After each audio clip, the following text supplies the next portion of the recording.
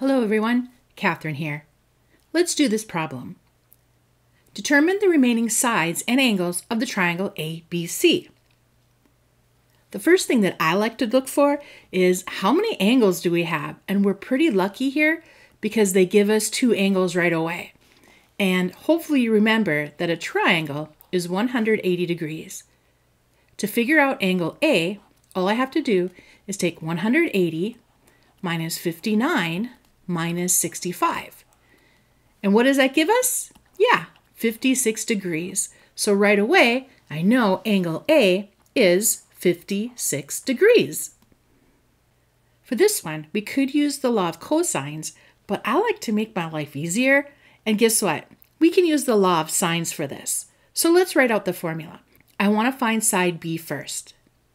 We're going to have the sine of A over side A equals the sine of B. Now, the big B is the angle over side B. Now, let's fill in what we know.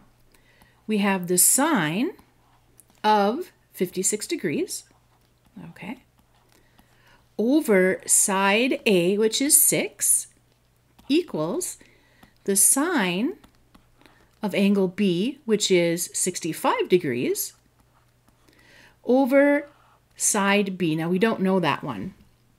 What we're going to do, cross multiply. Let me write it out for you first. So B times the sine of 56 degrees is going to equal 6 times the sine of 65 degrees. I'm not sure why my ends here are so crazy, but it's okay. We're going to divide by the sine of 56 degrees on both sides. Now I'm doing that because I want to get b by itself. Sine of 56 degrees. Now I'm going to put this whole thing on this side in the calculator. So let me show you how that works. All right, here's the calculator for the computer. I'm in scientific. What I'm going to do is I'm going to do the numerator first. I'm going to do the numerator first. I'm going to take 6 times. Now what we have to do is put in the degrees first, 65, and then we go to trigonometry and we want the sine. Now, that isn't it. We have to press equals first. All right, that's our numerator. We're going to divide by what's in the denominator. Now remember, I'm going to put in my degrees first. Then I'm going to pick sine. And I have to do equals, otherwise it's not going to work. And what do we get? And we have 6.559. So I'm going to write that down. 6.559. Now remember, they want us to round to the nearest hundredth. So that's going to be approximately 6.56. All right, great. Now, can you figure out how we're going to do C? Well, I want you to pause the video, find C, and then press play, and we're going to work it together. All right, I erased our work from before.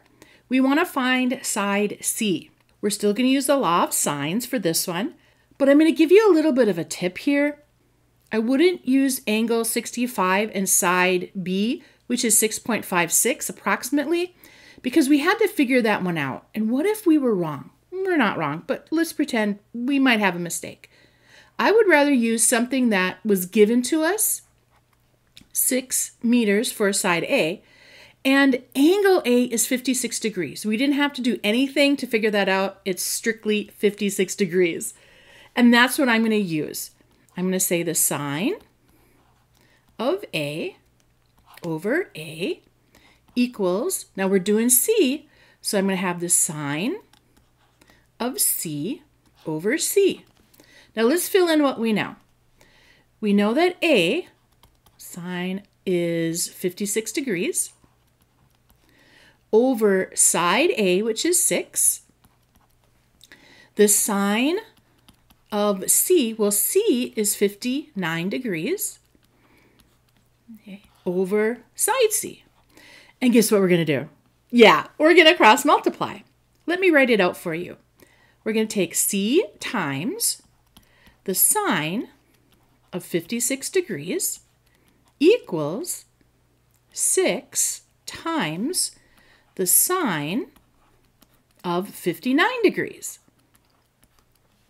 Now I want to get c by itself, so what I'm going to do is I'm going to divide both sides by the sine of 56 degrees. And I'm going to write that out here so everyone can see what I'm doing. All right, now to figure out c, I'm going to grab my calculator again. The first thing we're going to do is the numerator. I'm going to take 6 times, now I have to put the degrees in first, 59 degrees, and then pick sine, and we have to click equals.